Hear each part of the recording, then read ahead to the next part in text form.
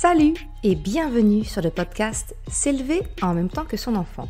Je suis Maude, coach certifié chez Mercredi, mais surtout maman de trois enfants. Sur ce podcast, je t'aide à conjuguer la bienveillance avec la réalité de ton quotidien de maman. Utiliser ton choix d'une parentalité bienveillante comme un accélérateur de ton propre développement personnel. T'aider à changer de regard sur les situations que tu vis avec ton enfant pour t'en servir, pour grandir et apprendre sur toi. Bienvenue pour l'épisode spécial du mois de décembre du podcast. Sous la forme de mon petit calendrier de l'Avent, je t'accompagne pendant tout le mois de décembre avec des petites questions de coaching, de développement personnel pour t'aider à faire le bilan de 2022 et surtout de commencer à préparer par des premiers petits pas l'année 2023. Je te laisse découvrir maintenant ma proposition du jour. Salut Alors, j'aimerais te poser une question aujourd'hui. As-tu remarqué comme on a tendance à s'effacer, à entrer dans le moule pour ne surtout pas se rendre visible et donc potentiellement critiquable?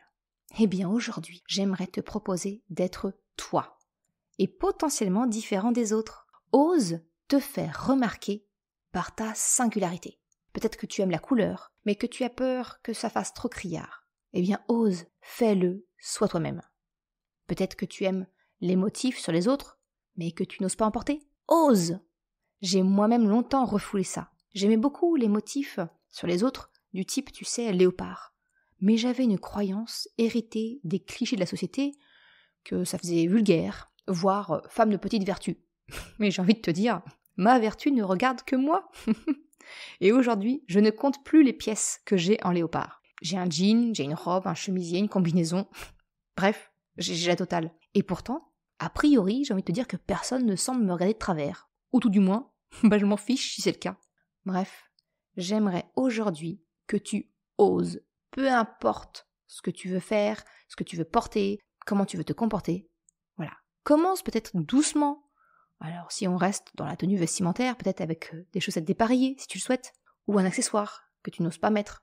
Mais si tu veux aller plus loin, eh ben je te recommande un compte que j'ai découvert assez récemment et qui me donne encore plus envie d'assumer la couleur dans ma vie. C'est le compte de Soyons élégantes sur Instagram. Je te mettrai le lien dans la, dans la description de l'épisode. Et vraiment, elle m'a aidé à encore plus vouloir mettre de couleur dans ma garde-robe et encore plus assumer sortir de la grisaille et de la banalité de tout le monde. Bref, aujourd'hui, j'aimerais que tu oses, que ce soit vestimentaire ou non d'ailleurs, hein, mais ose, fais quelque chose qui te rapproche un peu plus de toi. Je te souhaite une excellente journée. Si tu penses que ça peut être utile à quelqu'un d'autre ou si tu as aimé cet épisode, un grand merci à toi de le partager. Et moi, je te donne rendez-vous demain pour la suite.